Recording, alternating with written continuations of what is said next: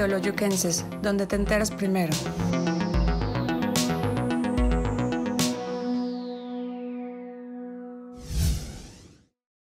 Teoloyuquenses hemos reservado un espacio para platicar con quienes toman las decisiones que impactan nuestra vida día a día. Nuestros invitados e invitadas de cada semana también reservaron un espacio en su agenda para platicar con todos nosotros.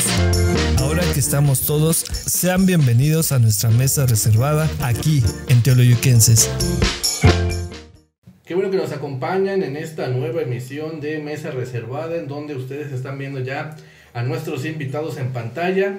Ellos son Oscar Moreno Arana, director del Optapaz Teoloyucan. Gracias, director, que nos acompaña. No, gracias a ustedes por invitarnos. Y nos acompaña también José Arnulfo Hernández Trejo. Él es subdirector de operación y mantenimiento del Optapaz. Gracias, eh, José, que nos acompañas. Gracias, gracias por, por invitarnos. La, la, la, primera pregunta es, ¿qué es el Optapaz?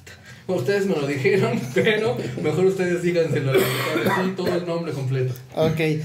El OPDAPAS es el organismo público descentralizado para la prestación de los servicios de agua potable, alcantarillado y saneamiento en el municipio de Teoloyucan.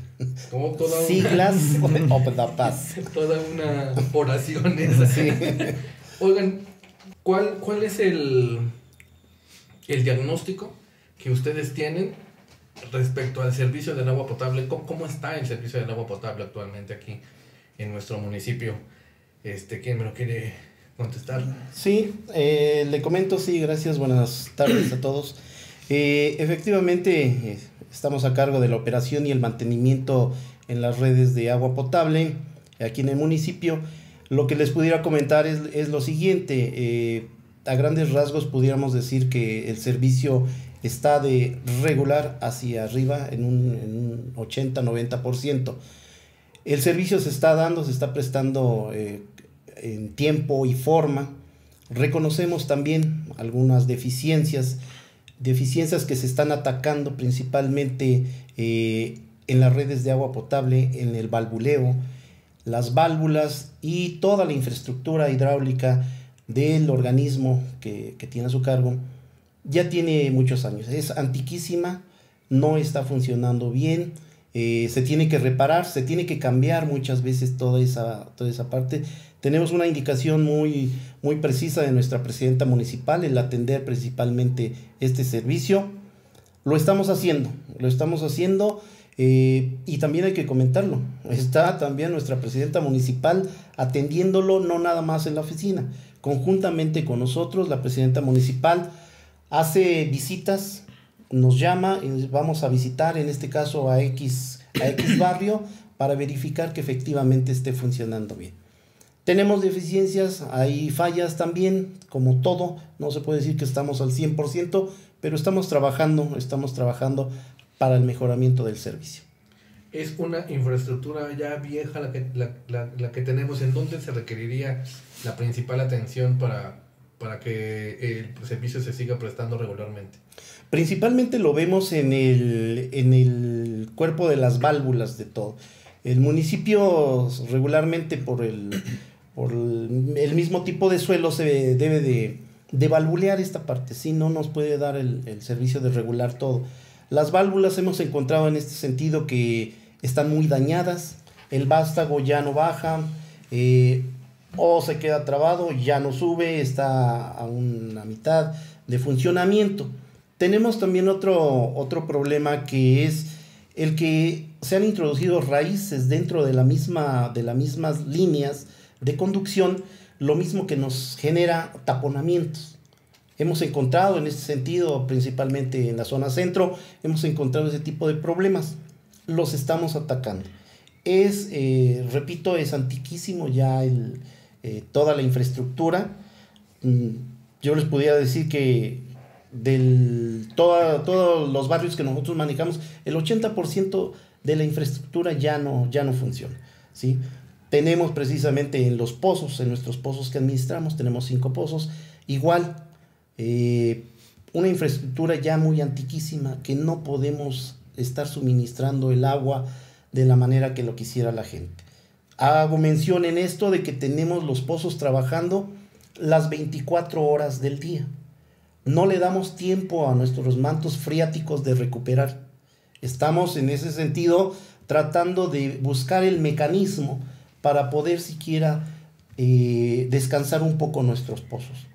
Ese es el principal problema, las redes de conducción, las válvulas y el tiempo de funcionamiento de nuestros pozos, que sinceramente es excesivo.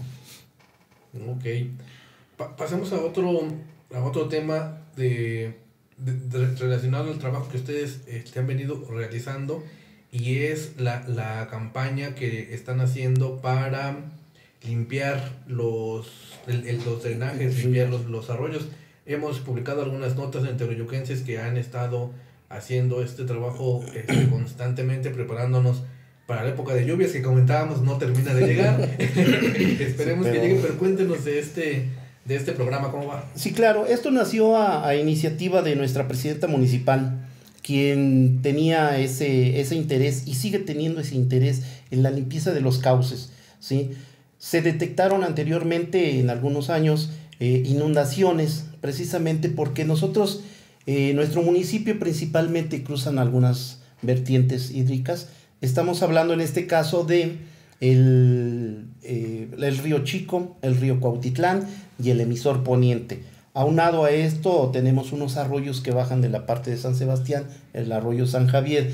¿Qué tenemos en esto? En donde se conjuntan los tres ríos, que así se le denomina, eh, las compuertas no se abrían en tiempo y forma. Esto nos generaba una sobrepresión en los ríos que a final de cuentas terminaba por desbordar.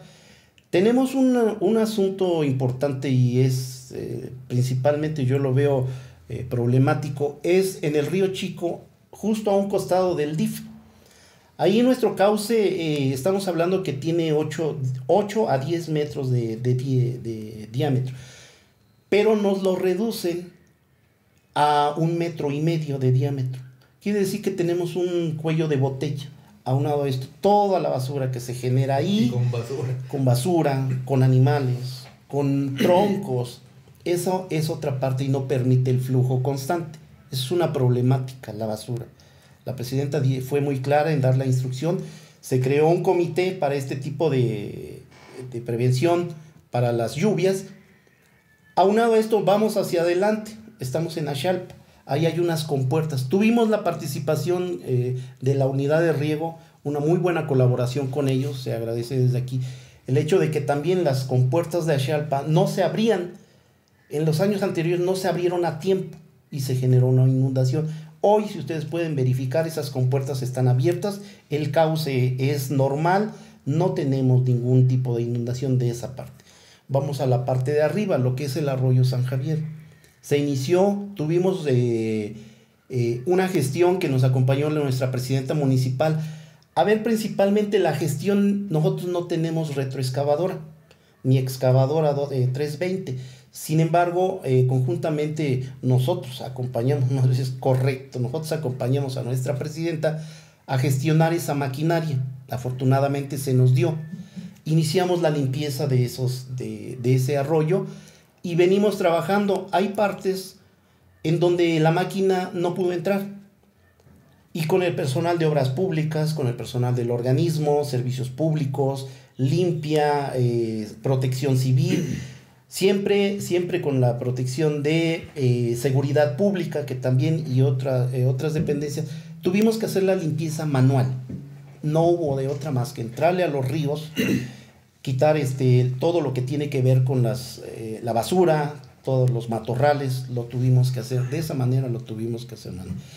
Estas, estos trabajos, cabe mencionar, estuvieron siempre eh, verificados por nuestra presidenta municipal, que dicho así sea de paso, entró a los ríos, entró y verificó, constatando también en este sentido que la limpieza que íbamos llevando se veía opacada porque en una de las visitas que tuvimos, constatamos que nuevamente existía basura dentro de los arroyos, costales de basura, bolsas de basura. Entonces, en ese sentido, sí yo invito a la ciudadanía a reflexionar, a apoyar este sentido, es por el bien de todos, es por el bien de todos, eh, el hecho de que los ríos estén limpios, los arroyos tengan un buen cauce. Entonces, esas son las acciones que hemos hecho, la gestión con nuestra presidenta municipal, la visión de nuestra presidenta municipal que siempre dijo tenemos que entrarle de esta manera y obviamente la supervisión que personalmente ella realizó en todos y cada uno de los trabajos que realizamos. O sea, ¿usted hay un Bactor en el municipio o ya no contamos con, con Bactor? Sí, sí, hay un... Bueno, buenas tardes. Este, mi nombre es Oscar Moreno, director del organismo. Sí, sí tenemos un Bactor. La verdad es un Bactor que ya tiene 20 años, 20 años que está prestando servicios aquí al municipio. Ya la verdad está completamente... Mmm, no está en condiciones óptimas. La verdad, ese Bactor está a cargo de la Dirección de Servicios Públicos, pero sí, la verdad ya es un Bactor que está obsoleto, ya no, no, no tenemos ahí la, la, capacidad con ese Bactor de dar algún servicio en forma. Con el Bactor que estuvieron desasolvando los drenajes es este de otro... Es, ese es un Bactor que también se solicitó a la CAEM. Estuvimos por ahí gestionando junto con la presidenta municipal también ahí también este, eh, gestionando con el vocal ejecutivo Alfredo Pérez Guzmán, mm. es que también le agradecemos, la verdad nos estuvieron mandando un Bactor de CAEM que fue con el que limpiamos eh, las líneas principales y las líneas generales del municipio para prevenir cualquier tipo de inundación. Oiga, director, cuéntenos eh, un tema que seguramente no le va a gustar a, a quienes nos escuchan, porque ustedes cuéntenos el padrón que tienen y de ese padrón ¿Cuántos pagan el APS? Ups, sí, ahí es, ahí es el, el talón de Aquiles del organismo. Tenemos un padrón de casi 10.000 usuarios, 9.800 y fracción. De ahí tenemos un rezago, tenemos una cartera vencida del 70%. Solamente el 30% son usuarios cumplidos. Precisamente por, por esa, esa, esa, dimensión de esa cartera vencida nos vimos en la necesidad de, de crear o de, en este caso, de ante Cabildo, eh, generar una, una, este, un acuerdo. Un acuerdo para condonar multas y recargos a todos, a todos esos usuarios que tenían o que tienen todavía rezago, el cual lo concluimos ya el día de mañana. Sí hemos tenido buena respuesta, la verdad también, sí hemos tenido buena respuesta, fueron los tres meses de abril, mayo y junio.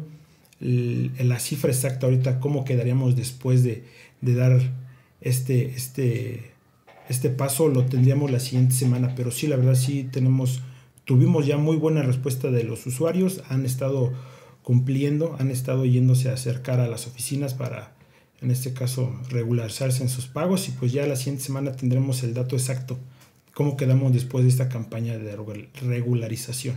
A ver, no, no creo que soy cizañoso ni nada por el estilo, pero, a ver, otra, vez la cifra, del 100% del padrón, ¿cuántos pagan? El 30%. 30%. 70% tenemos la cartera vencida. Si tenemos 9.800 y pico de, de usuarios, 7.000 usuarios no nos pagan. Y, y todos reclaman que no hay agua. Exactamente. También hay algo que aclarar ahí. Nosotros únicamente de todo el municipio nada más administramos el 30%.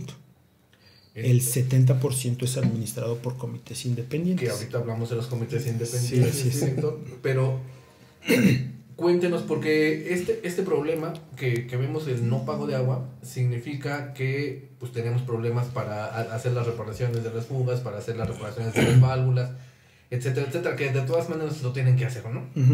que se tiene que hacer y que lo hacen.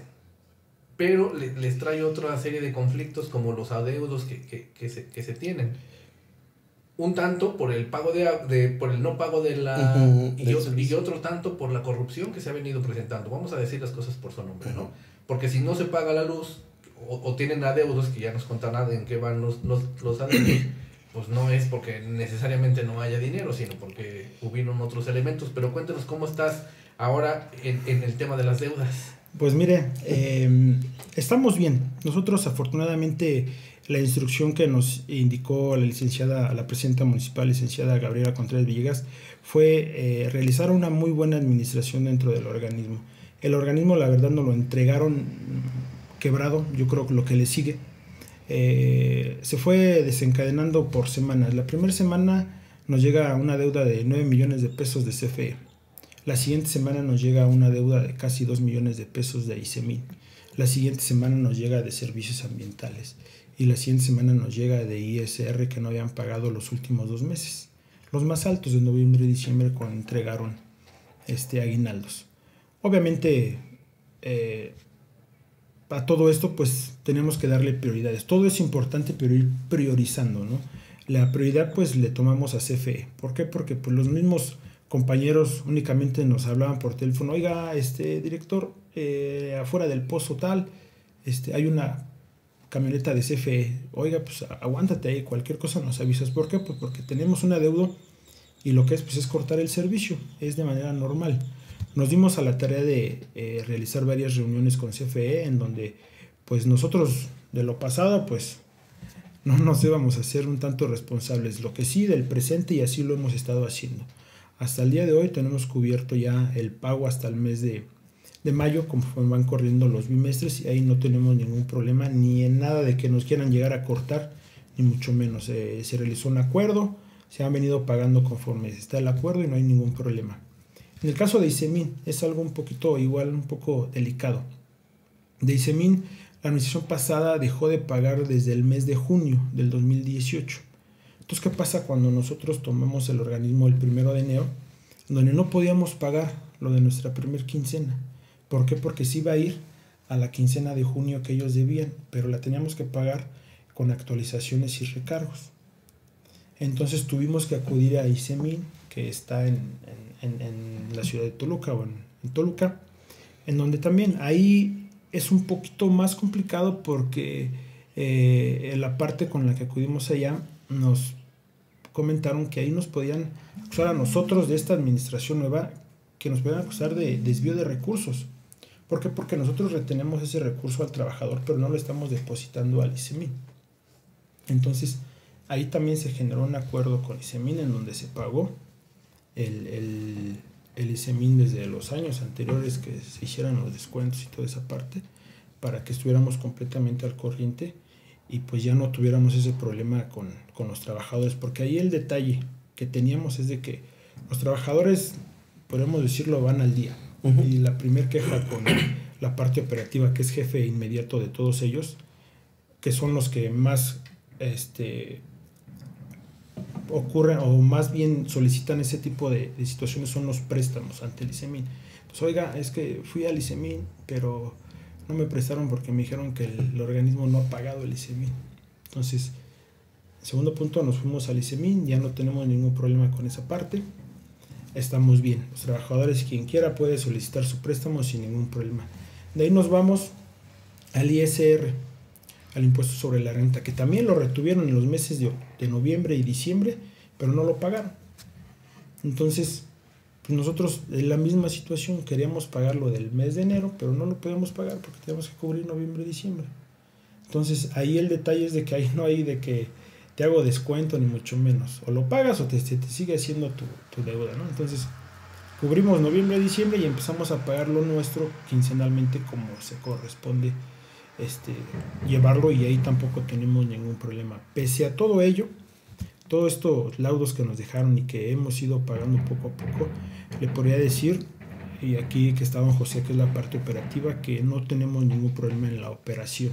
Ya tuvimos una quema de una bomba en el pozo Simapán, en donde anteriormente se tardaban más de 20 días. El último, eh, cuando se quemó la bomba de ese pozo, eh, tenemos ahí la, eh, ¿qué se podría decir? La,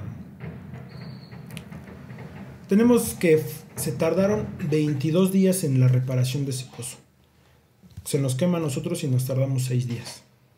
¿Por qué? Pues porque es de hablarle a la empresa que va a realizar los trabajos, que venga a darle su anticipo y que se ponga a chambear en la reparación y que venga y lo coloque. Esa bomba se estuvo colocando un domingo, ese mismo domingo se echó a andar el pozo y sin problema, solo fueron 6 días. En, en las misiones anteriores, ¿por qué tardaban más? Por el recurso. Obviamente cualquier empresa que venga lo que necesita es adelanto.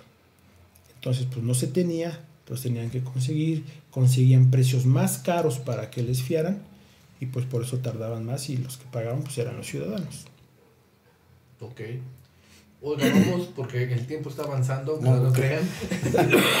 y, tenemos que, cambiar de, tema por el el tema de los comités autónomos. ¿Cómo, está esa relación y cómo está esa división de, de, actividades? Porque a veces al ciudadano no le queda tan claro este, que algunas cosas, o más bien con quién hay que dirigirse, porque este, el paz administra ciertos municipios, pero los comités autónomos administra cada uno de ellos a, sus barrios. ¿Cómo está ahí la, la, la relación? Mire, la relación con los presidentes de los comités independientes hasta ahorita es muy buena, la verdad es buena. Hemos, hemos estado apoyándonos mutuamente, es muy buena. Tenemos en el municipio nueve comités independientes. En la parte alta son dos, que es Simapán, eh, que cubre los barrios de Coaxoca, La Era, parte de Acolco y Axalpa. En la parte baja tenemos a los comités independientes, al llamado cinco barrios, que es el pozo que está en, en Santo Tomás, que cubre lo que es la colonia Santo Tomás, lo que es Santo Tomás, parte de Santiago, Santa Cruz y San Juan. Y el, el, comité de Santa María es otro comité que es totalmente independiente. Esos son los nueve comités independientes que tenemos aquí en el, en el municipio.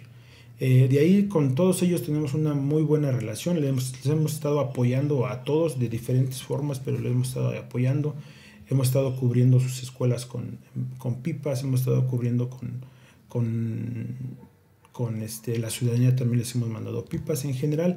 Es muy bueno. El detalle ahí con ellos pues es de que pues mientras tengan más agua para ellos mejor, pero cuando les hablamos de aportar, ahí es en donde pues simplemente se hacen que no nos oyeron y pues se hacen de la vista gorda. Ese es el detalle.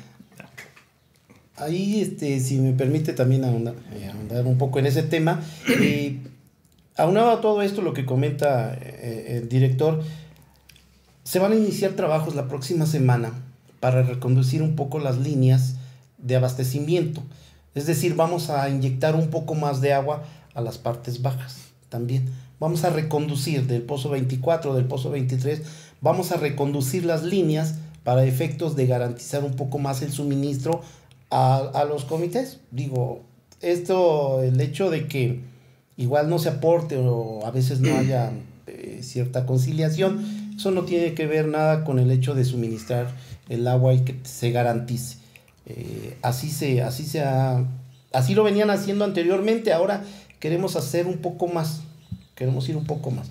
Ustedes verán los trabajos que vamos a iniciar la próxima semana para precisamente inyectar un poco más de metros cúbicos a las líneas que bajan para lo dicho por el, por el director.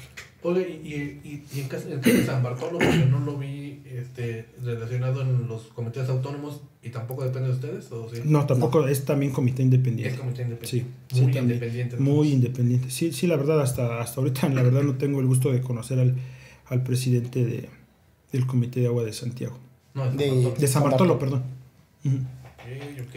Bueno, pues hasta, hasta ahí son este, los temas que teníamos pactados para, para platicar en esta conversación a la que ustedes nos hicieron favor de acompañarnos en esta, en esta noche. Y el tiempo también se nos, se nos está acabando, pero tenemos el suficiente para que nos den cada uno de ustedes un, un, un mensaje final. Si quieres, este, José, este, em, em, empieza y, dinos. Claro que sí. Bueno, pues únicamente comentarles, el organismo operador de agua está para servirles, para atender sus quejas, para atender sus demandas, pero también en ese sentido lo que queremos también de la ciudadanía es el apoyo. El apoyo, por una parte, el no tirar el agua, el no desperdiciarla, el que se acerquen a nosotros y personalmente, lo digo abiertamente porque así así ha sido y así seguirá siendo. La instrucción precisa es atender al ciudadano tiene algún problema, personalmente lo hacemos. Vamos al domicilio, verificamos la falta de agua, explicamos el por qué, si tiene, si no tiene. Queremos invitarlo a que se acerque, que se acerquen. Nosotros vamos, estoy a sus órdenes. El director, desde luego, también está a sus órdenes. Y esa es eh, principalmente la invitación a que nos apoyen también con el pago de, del consumo del agua. También lo necesitamos, hace falta, como ya lo dije hay que cambiar válvulas, líneas de conducción, trabajos que se tienen que hacer, reparación de fugas, en fin, es un trabajo constante. En ese sentido sí quisiera que, que nos apoyaran y bueno, para lo que ustedes gusten estamos para servirles. Muy amable. Gracias. Gracias, José. Oscar, cuéntanos del mensaje final. Ah, bueno, como ya lo comentan don José, que nos apoyen, que nos apoyen con el pago. El pago que, que realizan al organismo es para un mejor servicio si bien ahorita tenemos una campaña de, de, condonación de recargos que termina el día de mañana, que los vamos a estar atendiendo ahí desde las 9 de la mañana a la 1 de la tarde para condonarles al 100% sus recargos, y se pongan completamente al corriente y no estén recibiendo esas notificaciones de parte de, de, los compañeros de comercialización. Pero también que eso que ellos están pagando están contribuyendo a que les demos un mejor servicio, un mejor servicio, que las fugas eh, las reparemos de inmediatamente como así ha sido, que los brocales los coloquemos al día siguiente de cuando los han, han, solicitado y de que no tengan un mal servicio. Si bien lo que administramos, la parte que administramos, la verdad, como lo comentó don José en un principio, Ahorita estamos en un 80%. La intención es estar al 100%. Sabemos que siempre hay fallas, pero la, la intención es estar al 100% y obviamente eh, es, es, que nos ayuden de esa parte, que ustedes realicen sus pagos y nosotros realizando el trabajo. ¿Cuáles son esos, esos barrios que ustedes atienden directamente? Santa Cruz del Monte, San Sebastián, Colonia Guadalupe, Tlatilco, Tlatenco, una parte de Acolco, Tepanquiahuac, Atzacualco, La Providencia, Fresno 2000, Ampliación, San Sebastián, San Sebastián, Santa Rosa, Santa Rosa, Ejidos de Ejidos de San José. Eh, esos son los que son los, que, nosotros administramos. Es que como nos, nos contaba José que él atiende a todos los que vayan, pero si va alguien de Analco, pues te va a decir vaya con Sandra, ¿no? Pero, pero de igual manera, se han acercado personas, digo, perdón si me, si me permite, se han acercado personas de, otro, de, de otros barrios y, y, bueno, pues igual, la misma atención, ¿no? y ya se les explica igual brevemente, porque esto de las redes no es exclusivo nada más de la parte que administra el organismo, esto también tiene que ver mucho con los barrios, eh, con los comités independientes, viene siendo casi la misma infraestructura, también se requiere en esa parte y estamos para, para servir a todo el mundo. José Arnulfo Fernández Trejo, subdirector de operación y mantenimiento, muchas gracias que nos acompañaste. Gracias a ti por, por invitarme. Gracias. Oscar Moreno Arana, director de el Paz aquí de Teroyocan, gracias que nos Muchas gracias por la invitación. Y también gracias a ustedes que nos escucharon, nos vieron en esta emisión. Los esperamos la próxima semana. Teoloyuquenses, donde te enteras primero.